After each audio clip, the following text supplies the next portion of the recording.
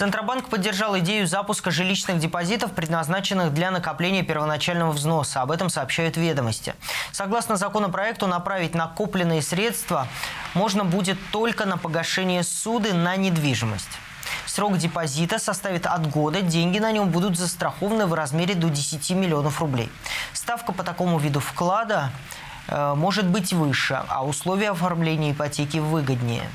На самом деле при разработке этого закона использовался практически опыт Республики Башкортостан по реализации у нас э, программы жилищно-строительных сбережений. Э, действительно, вопросы, связанные с формированием первоначального взноса граждан, сейчас очень актуальны.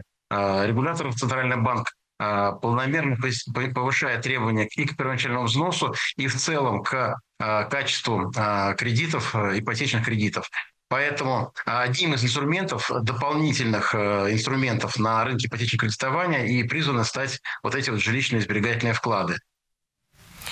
Программу «Жилстройсбережений» запустили в Башкортостане в 2014 году. За это время накопить на первоначальный взнос смогли более 5300 человек. На сегодня участниками программы остаются 3500 жителей региона. В Финцентре Башкортостана подчеркнули, что особенностью региональной программы является более высокая ставка по жилищному депозиту, чем по обычным вкладам. К ежемесячному взносу из бюджета начисляется премия в размере 30% от суммы пополнения, но не более 5000 рублей. После окончания накопления можно будет оформить ипотеку у банка-партнера под 5,5-7% годовых.